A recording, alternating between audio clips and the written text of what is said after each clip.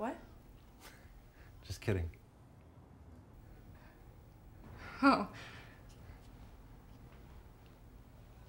Mm. Jeez. You know, these things scare me.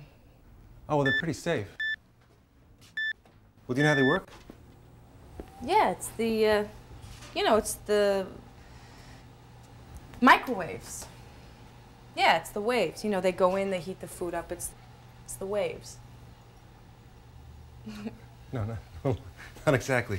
See, microwaves are powerful, low-frequency electromagnetic waves. When they strike an organic substance, make the molecules vibrate. Vibrations heat. That's how they work. Wow, that's pretty cool. You like science? uh, y- yeah, sure. I guess. Yeah, especially those uh, animal science kinds of things. You know, the the nature specials. Nature specials are great. You know, when the animals they do all those kinds of things. You know, birds are really dinosaurs. Birds. Birds. You know. no, no. When the, when the big dinosaurs went extinct, the little ones survived, and and uh, see, birds and, and dinosaurs both have hollow bones, and the feathers are really just an involvement of scales. I always thought that was really amazing. Wow.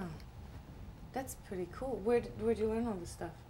Oh, I, I read a lot, and yeah, I just remember stuff. I love reading. And books. Like I remember all the telephone numbers of all my friends from grammar school. Yeah. Really? Oh yeah, like um, my friend uh, Mickey Hobart.